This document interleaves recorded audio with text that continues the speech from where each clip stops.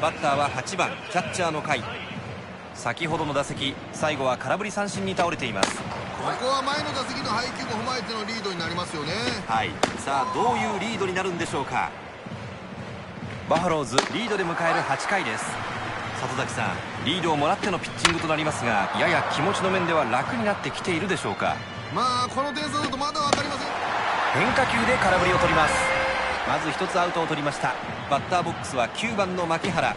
さっきはインコースを打たれたんでそこの攻め方に注目したいですよね。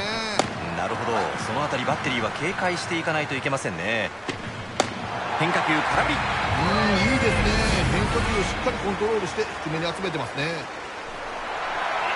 バッターボックスには代打の中村。ツーアウトランナーありません。